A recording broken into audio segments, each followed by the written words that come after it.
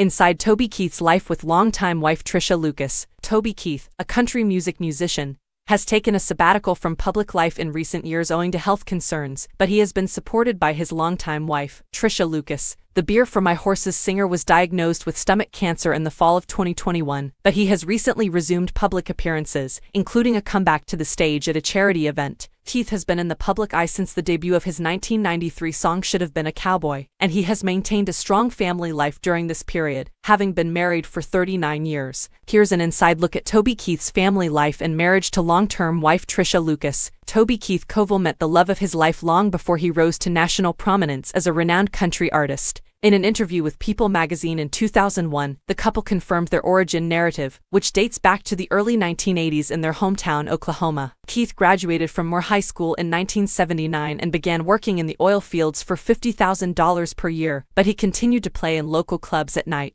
In an Oklahoma pub, he met his future wife, Tricia Lucus. I was 19, and he was 20, Lucus told People. He was just one of those larger-than-life guys, full of confidence. The couple married three years later, on March 24, 1984. Keith began focusing on his music about the time the oil fields went bust, he remembered. The couple raised a family but had to deal with creditors. He would remark, Trish, one of these days, my time will come. Hang in there, Lucus said. Keith was proven correct in 1993, when his single Should Have Been a Cowboy reached number one on the North American country music charts, and his debut eponymous album went platinum in the United States.